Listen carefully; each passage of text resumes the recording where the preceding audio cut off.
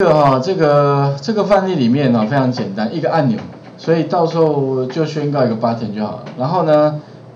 ，button 按下去之后呢哈，也会有个事件嘛，所以这部分要写写一个事件。点下去之后呢，它做什么？就中间这个地方显示出来，就是这个叫 Align Dialog，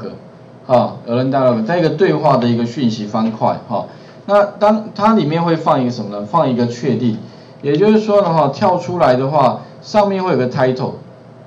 然后呢，里面会有个 message，一个讯息，啊，然后呢，在里面的话有个 button，当你按下确定之后的话呢，它就跳开了，它就离开了，啊，也就是说呢，在原来的画面上面会跳出一个对话的方块，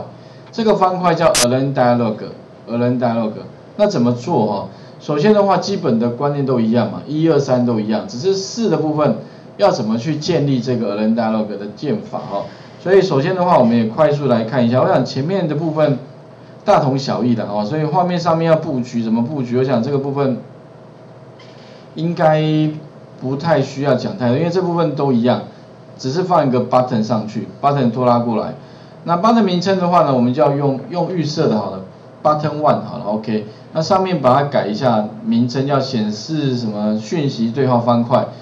那再来的话，城市部分我们一起来看一下啊，城市部分的话呢。基本流程也是一样，反正的话上面有个 button 就宣告一个 button，名称叫 btn one 好了哦，然后呢二的话连接，我想连接部分跟前面一样，用 find by id 去连接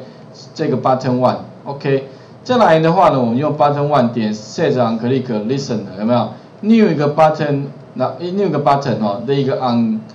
click listen 好，然后呢实作方法里面要做什么？特别注意哦，主要是这个。叫做 a l a n Dialog 点 Builder，好点 Builder 这个类别哈，这个类别里面呢哈，我们必须要建立一个叫这个这个物件名称叫 Builder，好，那这个 Builder 里面特别注意就是 New 一个 a l a n Dialog Builder 后面的话必须传一个参数，